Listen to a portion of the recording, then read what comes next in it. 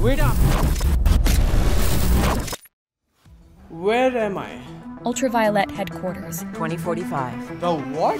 You heard that right. Initiating guest protocol. Follow me.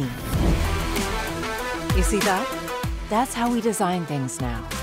Oh, I had no idea the McLeod Jetpack 1.0 was already in the works. Always ahead of the game. Human machine interactions? We play with gestures now. Moving on. This is where the Ultraviolette power modules are built. Look, but don't touch. Wait, not that. I got something else for you. Come on.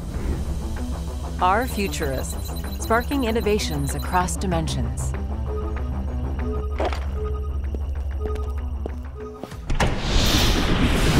Whoa, that was close. We ensure our pilots have a stellar experience interacting with our solutions.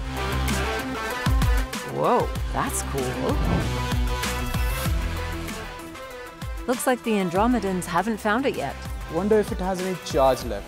Speaking of charge, Is that the... the UV supernova. Yes. Range anxiety is a thing of the past. Is everything open source now? Absolutely not.